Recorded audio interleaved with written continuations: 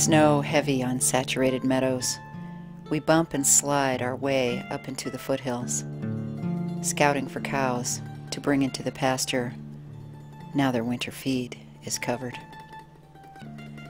Wind gusts purl and spiral along the ridges, looking for a moment like gray horse heads against the whiter clouds, charging down the mountain spine to gather under the ridgeline.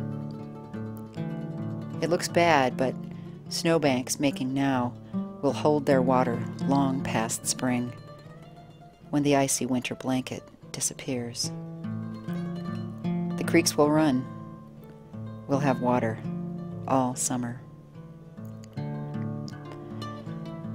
Drizzly rain speckles down on snow, maybe freezing a crust.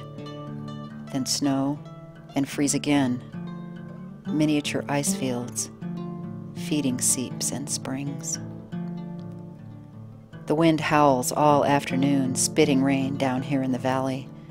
I imagine the snow drifting into cornices, great crescent moon curves along the backs of sleeping giants sheltering us from the storm in winter, storing the water that will slake our thirst in August.